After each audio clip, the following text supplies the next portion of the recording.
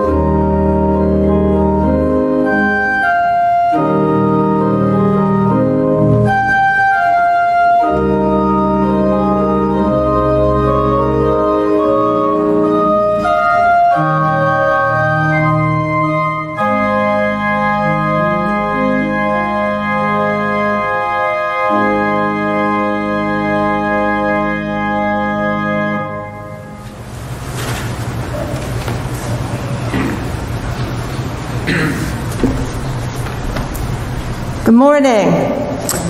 Welcome to this service of worship this morning. We are glad that you are here to worship God together. We're glad that some of you are watching online later today and, um, and hope that you find meaning in that. This is our Commitment Sunday. We'll say more about that later in the service. We also welcome Carpe Diem. We're glad that you are here this day, and um, I think you will enjoy hearing their music. This afternoon at 3:45, we encourage you to come with a decorated trunk if you'd like to decorate it, or come just to see the parade of, of Halloween trunk or treaters that are here. Following that, it will be all socially distanced. Following that, we will have a concert by Tim Barrage, Jared, and Emily, Emily Campbell. So we will be glad to have you here for that event as well. It is a little chilly out today, so I think in cars will, will be a good um, alternative. And now may we worship God together.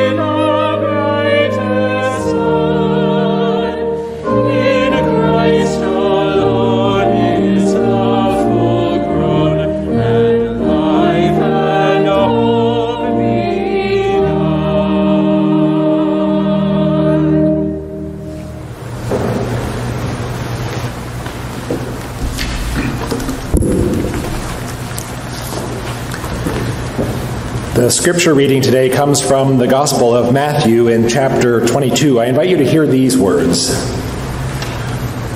When the Pharisees heard that he had silenced the Sadducees, they gathered together, and one of them, a lawyer, asked Jesus a question to test him Teacher, which commandment in the law is the greatest? And he said to him, You shall love the Lord your God with all your heart, and with all your soul, and with all your mind. This is the greatest and first commandment, and a second is like it You shall love your neighbor as yourself. On these two commandments hang all the law and the prophets. Now, while the Pharisees were gathered together, Jesus asked them this question. What do you think of the Messiah? Whose son is he? And they said to him, The son of David. He said to them, How is it then that David, by the Spirit, calls him Lord, saying, The Lord said to my Lord, Sit at my right hand until I put your enemies under your feet? If David thus calls him Lord, how can he be his son? No one was able to give him an answer, nor from that day did anyone dare to ask him any more questions. This is the word of God from a long, long, long time ago for us, the people of God here and now today. Thanks be to God. Amen.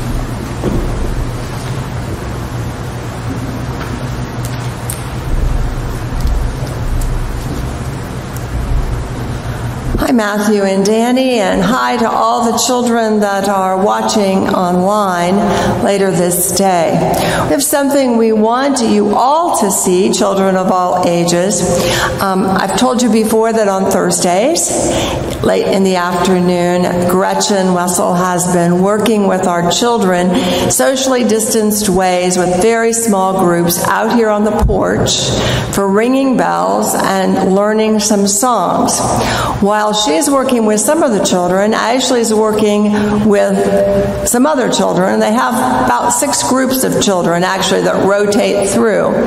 And um, the children that Ashley's been working with have made for you um, a, a poster kind of thing out of wood, and you'll see it over there on the chair on the other side of the pulpit.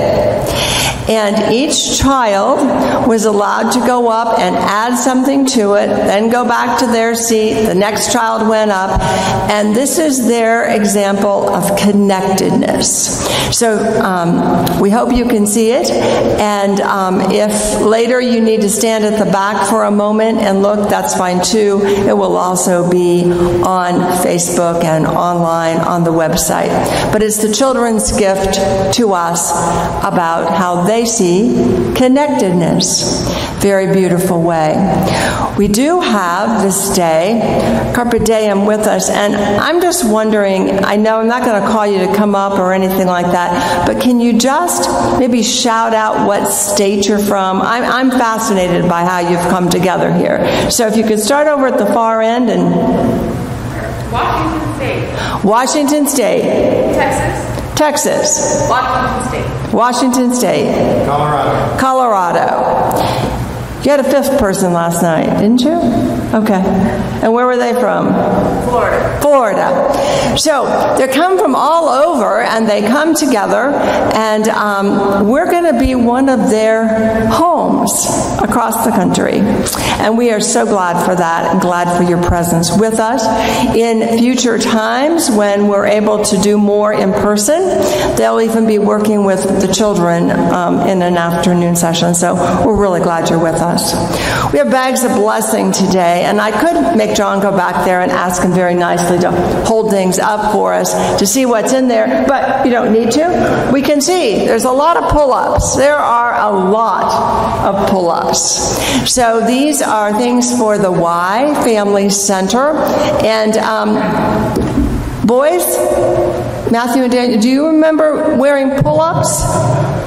Yeah, mom remembers. Okay. Pull ups are very important for little children, and we're so glad that you brought pull ups and other things in as well. So let's pray together.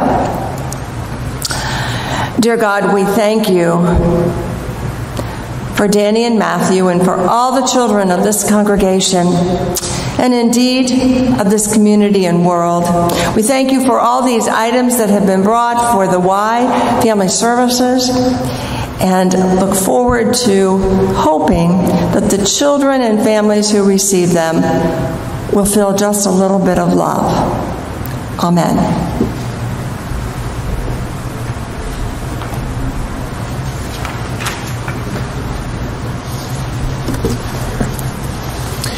In that same spirit of feeling a little bit of love, I invite you uh, to join me now in this time of prayer, a time where we remember or recognize that whether we voice our prayer concerns aloud or hold them silently in our hearts and our minds, that we are loved by God nonetheless, and that God hears and receives all of our prayers, whether they are verbal or silent. Would you join me in prayer? O Holy One, come into the safe and protected corners of our hearts and minds this day and help us to release our grip on all the things we've exhausted ourselves trying to carry our resentments, our anxiety, our anger, our doubts, or our confusion of heart or mind or spirit. Help us to pray with confidence and help us move beyond where we are to what we might become by caring for our neighbor. Help us to take our sorrows and the taste of bitter betrayals and let those go, bit by bit, so that we don't become sorrowful or creatures of revenge. Help us instead to weave the losses of our lives into something beautiful, made possible only by caring for others where good things have taken place this past week but have been glossed over in an effort to find something negative to complain about. Stir us to find another way. Where your presence among us has been near palpable, but we've turned our hearts or our heads to focus elsewhere, move us to look for your presence before we open our mouths where our neighbor has said or done something that reflects something of you to us, but we've just been too busy to notice, slow us down just a little bit so that we might see something holy in the stranger called our neighbor. And then where we're so focused on loving you in all of the right ways that we forget the best way to love you is to treat strangers with the same love we'd like them to treat us. Help us be better at seeing something of you in them. In this heightened political season, O oh God, where some are excited to see the next ad campaign, commercial, debate, or argument, and others cringe at the near mention. Help us to see one another first as God's beloved, every one of us rather than seeing each other as voting allies or adversaries. Where we are certain our values and ideas are best suited by our own outlooks, open our minds to consider someone else's prerogative too. And where it's just easier to turn our gaze away from those who are so different from us that we're uncomfortable, remind us again of your words You shall love your neighbor as yourself. So, all of this, O oh God, we ask in the name of the one who came us to show us, who came to show us what that looks like, what it sounds like, and what it feels like on both sides. The one who is love personified, Jesus the Christ, who taught his disciples to pray, saying, Our Father, who art in heaven, hallowed be thy name. Thy kingdom come, thy will be done on earth as it is in heaven. Give us this day our daily bread, and forgive us our trespasses, as we forgive those who trespass against us. And lead us not into temptation, but deliver us from evil. For thine is the kingdom, and the power, and the glory forever. Amen.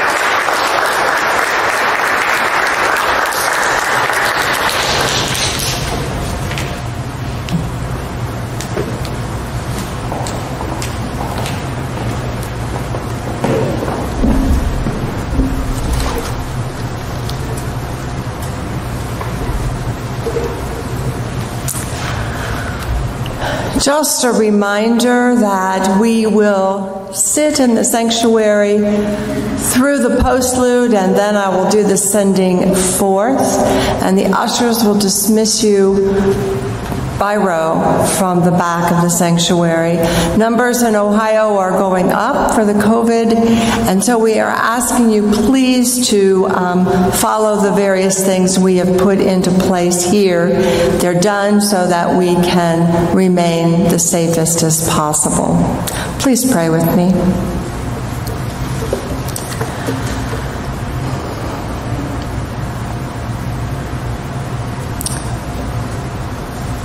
Amen. In December of 2010, Ladin Lashari penned an article that was entitled, What Does Love Mean? See how four to eight year old children describe love. I saw some parts of this um, making its rounds again this week on Facebook. It comes up every once in a while, so I decided to look it all up again. A group of professionals ask a group of four to eight year olds, What does love mean? Here's some of their answers. See if you can relate. Rebecca said, When my grandmother got arthritis, she couldn't bend over and paint her toenails anymore. So my grandfather does it for her all the time, even when his hands got arthritis too. That's love. Billy says, when someone loves you, the way they say your name is different. You just know that your name is safe in their mouth. Terry said, Love is what makes you smile even when you're tired.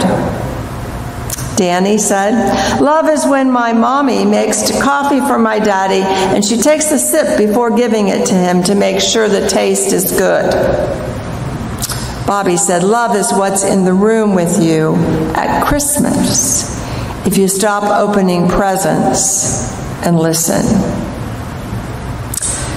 Nika said, If you want to learn to love better, you should start with a friend who you hate. Marianne said, Love is when your puppy licks your face even after you left him alone all day. Author and lecturer Leo Buscaglia once talked about a contest he was asked to judge. The purpose of the contest was to find the most caring child. The winner was a four year old child whose next door neighbor was an elderly gentleman whose wife had recently died. Upon seeing the man cry, the little boy went into the old gentleman's yard, climbed onto his lap, and just sat there. When his mother asked what he had said to the neighbor, the little boy said, Nothing. I just helped him cry. The religious leaders were continuing to try to trip Jesus up. Jesus silenced one group so a lawyer from another religious group asked him the next question Teacher, which commandment in the law is the greatest? And Jesus answered by taking two laws and lifting up both. You shall love the Lord your God with all your heart, all your soul, and with all your mind. The greatest. And this one like it. You shall love your neighbor as yourself. On these two commandments hang all the law and the prophets. And then Jesus asked them a question, and they bantered a bit, and no one could really answer. And from that day on, they did not dare ask him any more questions. Tris of Overlook Retreat House Dayspring reflects on this text. Those listening would have been familiar with both of these commandments in their scriptures, but in different books. What Jesus does here is to link them and make the two inseparable. We cannot truly love God and at the same time not love our neighbor.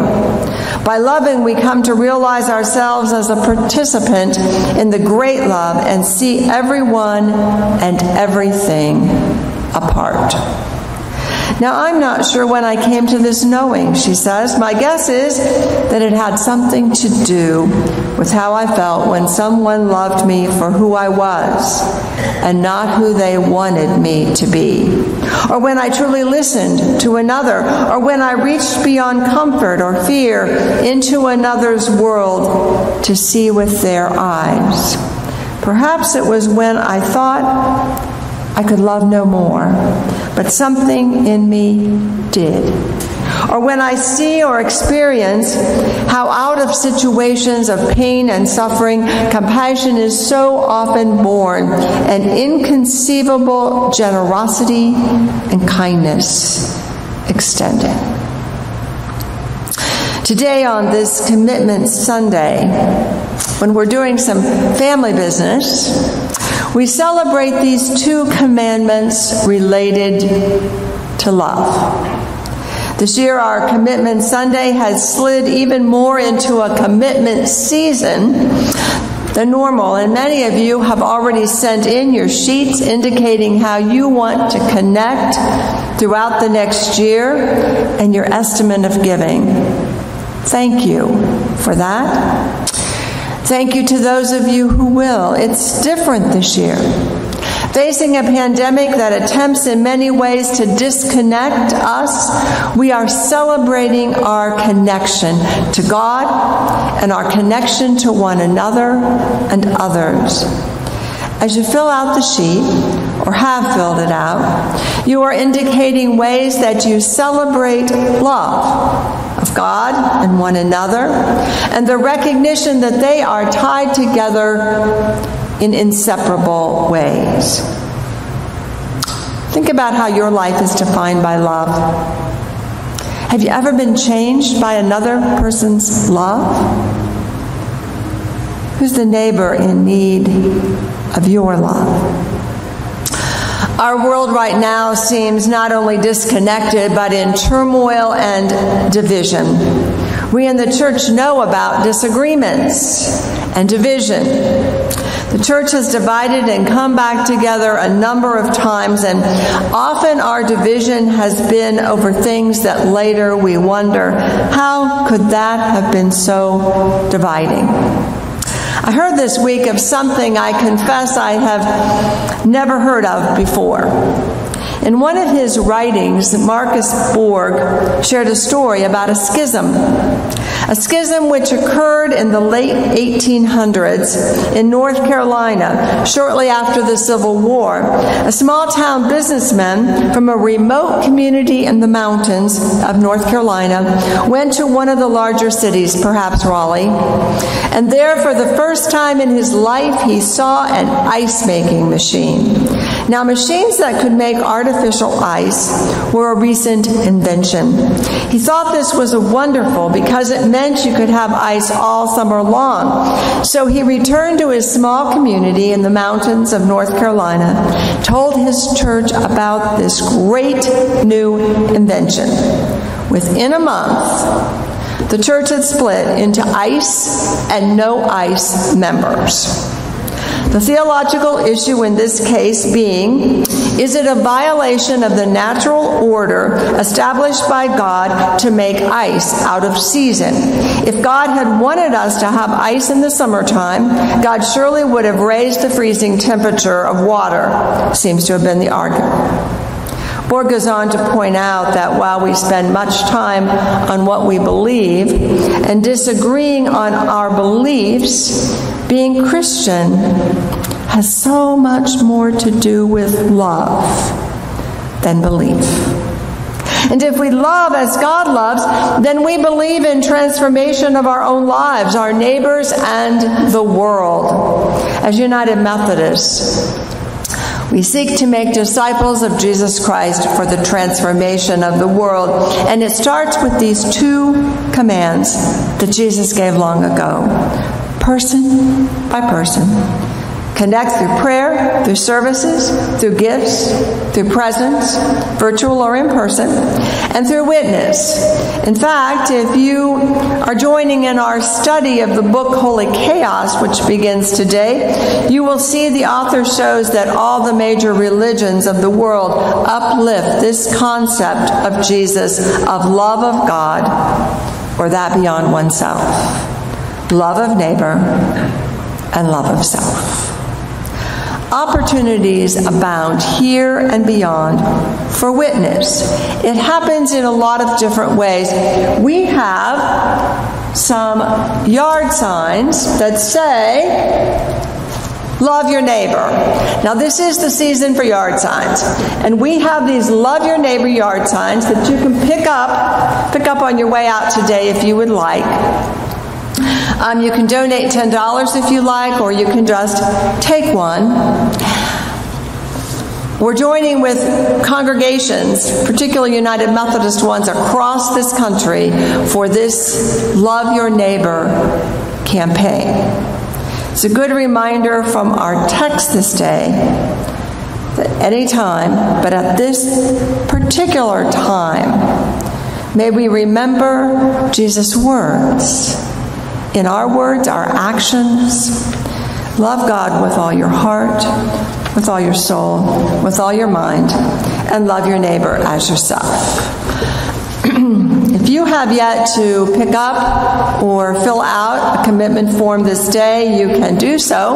There are some at the back on the table where the communion elements have been have been. You can pick one up and bring it back later or mail it. And if you want to take it out and come back in the, the doors by the office, that's fine too. Excuse me, I have a little tickle. Please pray with me. And then I invite you to read the words of our last hymn as you listen to the postlude.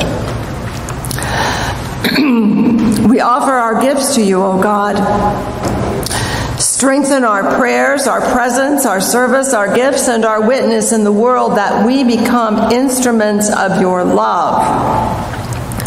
Bless that which we offer. May it, through your great love, make disciples of Jesus Christ for the transformation of the world.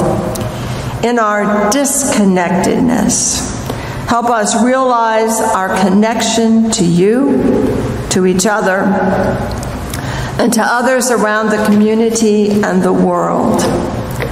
In Christ's name we pray. Amen.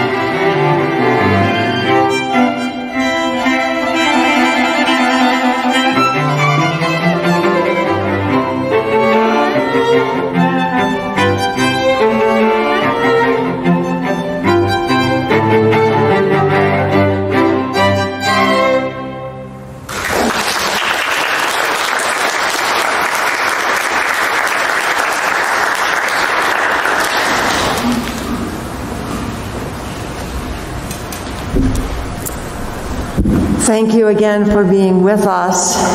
And may we all leave this place today and remember to love God with our heart, our mind, and our soul, and love our neighbors as ourselves. Amen.